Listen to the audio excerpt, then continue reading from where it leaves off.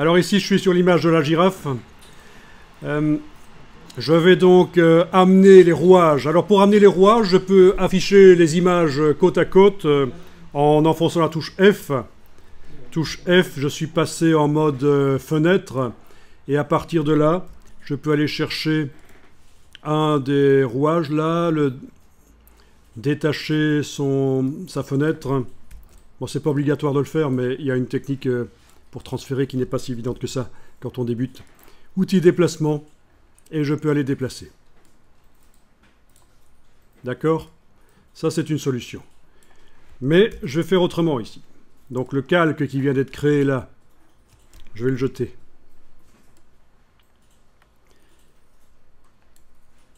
Ce que je vais faire, c'est que les fichiers des rouages, je vais les enregistrer, surtout celui-là, sur lequel j'ai fait un travail pour supprimer le fond blanc.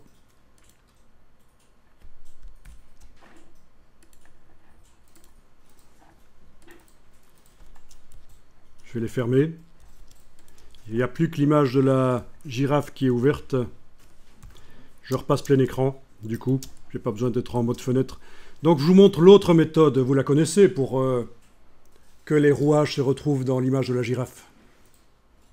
Si je les déplace pas avec l'outil de déplacement, en les ouvrant à côté, ben, il faut que je fasse fichier importé.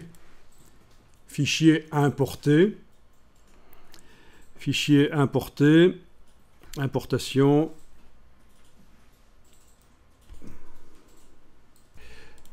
Non, pas fichier importation. Ça, c'est pour importer d'autres choses. Fichier importé ici. Alors, vous avez euh, une seule euh, fonction dans la version CS6 de Photoshop dans laquelle vous êtes en train exceptionnellement de travailler aujourd'hui, parce qu'on a dû changer de local. Euh, vous n'avez que fichier importé, vous. Tandis que moi, j'ai deux types d'importation. Importer et incorporer, et importer et lier. Bon, celle que vous avez, c'est importer et incorporer. Vous connaissez Adobe InDesign, vous avez étudié déjà InDesign? Le système des liens, des images les images liées, ça vous dit quelque chose? C'est-à-dire que le logiciel regarde en permanence ce qui arrive aux fichiers sur le disque dur et s'ils sont modifiés, ça vous propose de mettre à jour dans le document dans lequel vous êtes en train de travailler. Ça, c'est ce qui se passerait si je faisais fichier importé et lié. Mais moi, je vais faire comme dans CS6, comme avant dans Photoshop, avant qu'il soit possible d'importer euh, des, fichiers liés.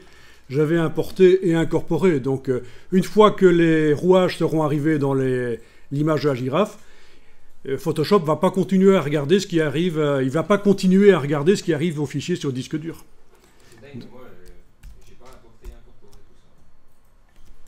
Donc, dans CS6, ces fichiers importés que vous utilisez la, fonction importer et lier n'existe pas dans CS6. Elle est apparue après dans la dernière version de Photoshop. Et donc, ils ne font pas la différence entre importer et lier et importer et incorporer. Ce que vous avez dans CS6, c'est importer et incorporer. Mais ça s'appelle tout simplement importer. Est-ce que je me fais comprendre? Ok. Donc Photoshop évolue, euh, voilà, et on utilise ou pas les dernières fonctionnalités, euh, c'est pas mal de, de s'y intéresser en tout cas. Voilà, c'est importé. Il faut valider avec le petit V et vous obtenez un objet dynamique. Je vais importer les autres. Fichier importé et incorporer dans mon cas. J'avais aussi celui-là. Voilà, je valide. Encore une fois, fichier importé et incorporé. Il y avait le troisième qui devait être celui-là, je pense. Voilà, et validé avec le petit V. On obtient donc des objets dynamiques qu'on va pouvoir déplacer avec euh, l'outil de déplacement.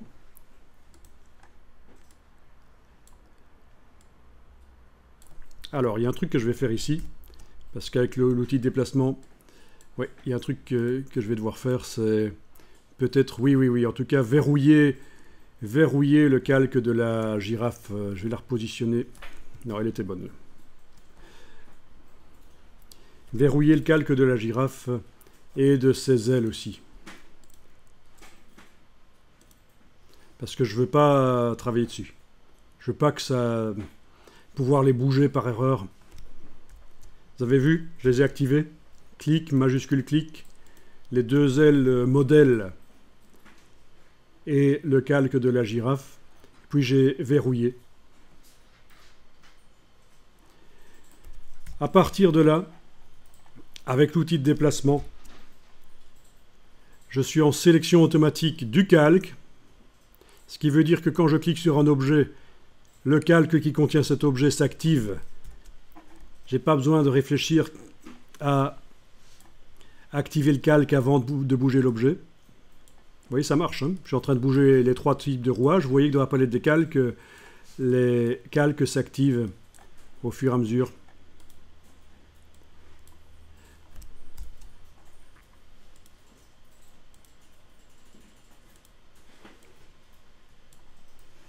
Ça paraît clair.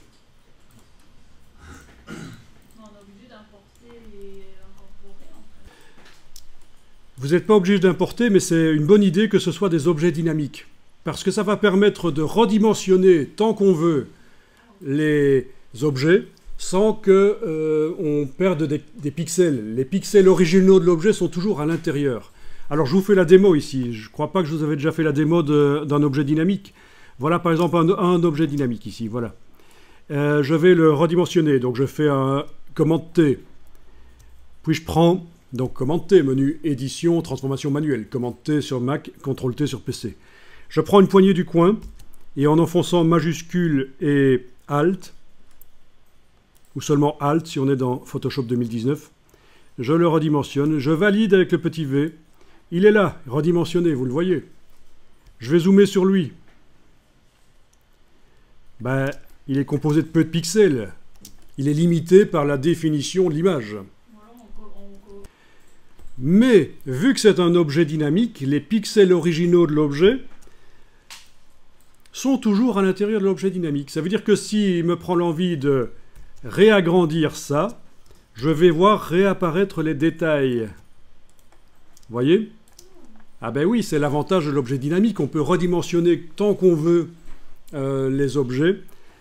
À un certain moment, euh, on pourra même euh, augmenter la qualité globale de l'image facilement. Je dirais, ils sont toujours là, les pixels originaux.